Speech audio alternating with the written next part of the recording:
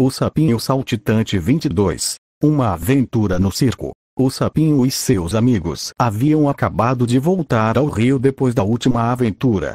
Quando eles perceberam que um circo havia parado ali. Era o Circo da Alegria, e todos do rio foram ver as atrações e se distrair um pouco, depois de tantas aventuras com homens maus. Chico, o dono do circo apareceu e agradeceu a todos eles por estarem ali. Depois veio Felícia, a foca pianista. Ela tocou seu piano enquanto fazia malabarismo com bolas de praia. Então apareceu Pererê, o palhaço. Ele contou várias piadas e fez muitas coisas engraçadas. Por último, apareceu Léo Leão. Ele atravessou círculos de fogo e todo mundo aplaudiu.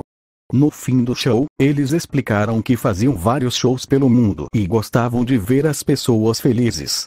Porém, eles ouviram um som muito alto do lado de fora. Eles foram ver o que era aquilo. Eles viram que se tratava de outro circo, maior e mais bonito, o Circo dos Sapinhos. Eles acharam um nome curioso e entraram lá. Eles viram as atrações do Marcelo, o macaco malabarista com fogo. Depois, eles viram as acrobacias de Tiago, o tigre. E por último, eles viram Maratá, o palhaço.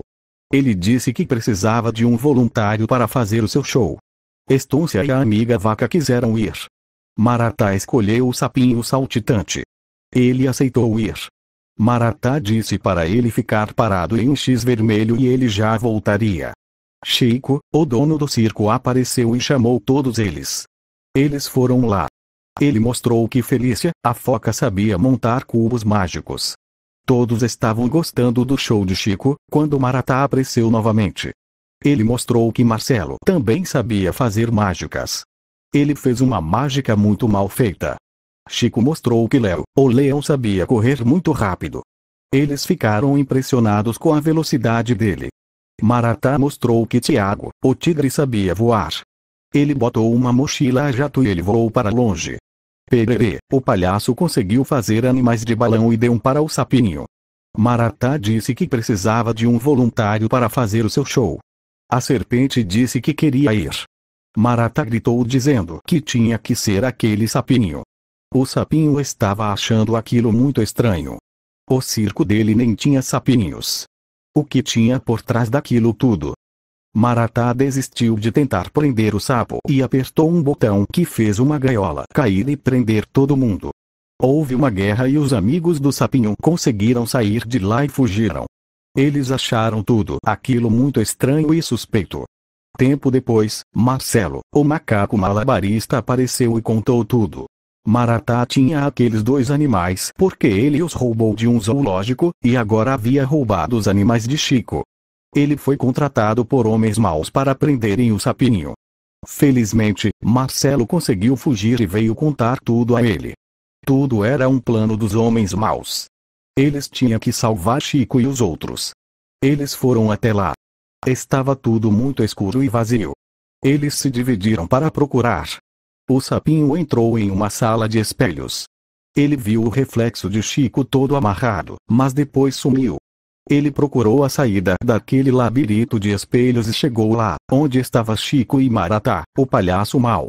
Ele disse que sabia que o sapinho viria. Os animais do circo apareceram atrás para tentar pegar o sapinho. Eles estavam sendo controlados. Ele disse que já foi um palhaço de verdade, mas as crianças deixaram de gostar dele. Elas diziam que ele era feio e parecia ser assustador. Ele foi despedido por causa disso, e agora não poderia fazer mais nada. Mas ele queria continuar sendo um palhaço. Mas dessa vez, iria se vingar de todos que tinham medo dele. Ele fez um acordo com os homens maus e ganhou esse circo.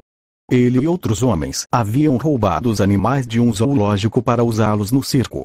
Ele seria o dono do seu próprio circo agora. Mas para ele continuar com aquele circo, ele deveria entregar o sapinho aos homens maus. Depois que entregá-lo, ele iria atrair crianças para o circo e acabar com todas elas. Enquanto isso, o sapinho estava sendo solto pelos seus amigos que haviam salvado Pererê e não estava prestando atenção. Maratá ordenou que atacassem os amigos do sapinho. Ele conseguiu pegar o aparelho que fazia Maratá controlar todos e desligou. Maratá jogou uma bomba de confete e sumiu dali. Todos os animais aceitaram ir para o circo de Chico e fazer a alegria das crianças pelo mundo. O sapinho e seus amigos fizeram uma festa no rio com todo mundo. Você falhou. Eu sei. Agora não posso mais ter meu circo e realizar meu sonho de me vingar de todas aquelas crianças. Não. Você não trabalha mais para nós. Aquele sapo. Ele não é como um sapo qualquer. Ele. Ele é. Eu sei bem como é o sapo que você estava tentando pegar. Não pode me dar outro circo e tentar novamente. Não. Precisamos de ideias novas. Você está despedido. Não posso nem tentar ajudar a capturá-lo. Se eu conseguir você me dá meu circo, ou pelo menos uma recompensa. Vários homens maus tentaram capturá-lo para mim. Quem conseguir pegá-lo será bem recompensado. Se você conseguir trazê-lo até aqui, ótimo. Mas tenho homens maus mais especializados que você. Agora saia da minha frente. Aquele sapo. Ele me verá novamente.